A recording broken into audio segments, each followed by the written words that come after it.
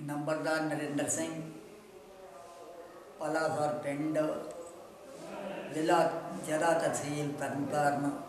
ਮਾਨ ਭੱਤੇ ਬਾਰੇ ਅਸੀਂ 1500 ਰੁਪਈਆ ਸਾਨੂੰ ਗਵਰਨਮੈਂਟ ਦਿੰਦੀ ਹੈ ਹੁਣ ਤੇ। ਹਰਿਆਣੇ ਵਾਲੀਆਂ ਸਹੂਲਤਾਂ ਮੰਗਦੇ ਹਨ ਨੰਬਰਦਾਰ ਹੋਣ ਦੇ ਨਾਤੇ। ਅਸੀਂ ਮੋਦੀ ਸਰਕਾਰ ਨੂੰ ਜ਼ਿਮੀਂਦਾਰ ਹੋਣ ਦੇ ਨਾਤੇ ਅਪੀਲ ਕਰਦੇ ਹਾਂ। ਜਿਹੜਾ ਮੋਦੀ ਸਰਕਾਰ ਨੇ ਕਿਸਾਨਾਂ ਦੇ ਖਿਲਾਫ ਜਿਹੜਾ ਸਟੈਪ ਚੁੱਕਿਆ ਉਹ ਬਹੁਤ ਮਨ ਘੜਤ ਗੱਲਾਂ।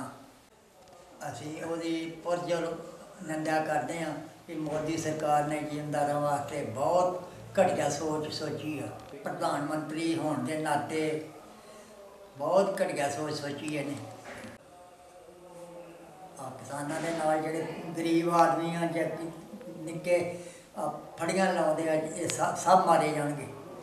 ਮੋਦੀ ਸਰਕਾਰ ਨੂੰ ਇਹੋ ਬਿੱਲ ਵਾਪਸ ਲੈਣਾ ਚਾਹੀਦਾ।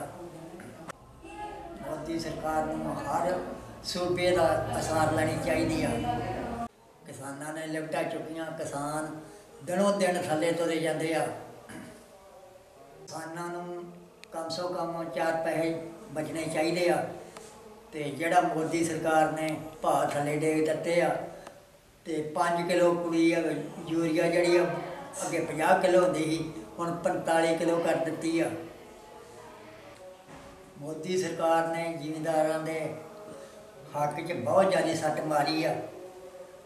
ਤੇ ਜਿਹੜਾ Modi sir, Modi prime minister ਆ, ਉਹਨੇ ਬਸ ਆਪਣੇ ਸ਼ਾਹੂਕਾਰਾਂ ਦਾ ਸੋਚਿਆ, ਜੱਟਾਂ ਵਾਸਤੇ, ਚਾਹੇ ਜ਼ਿਮੀਂਦਾਰਾਂ ਵਾਸਤੇ, ਚਾਹੇ ਹਰੀਜਨਾਂ ਵਾਸਤੇ, ਕੋਈ, ਕੁਛ ਨਹੀਂ ਸੋਚਿਆ ਨੇ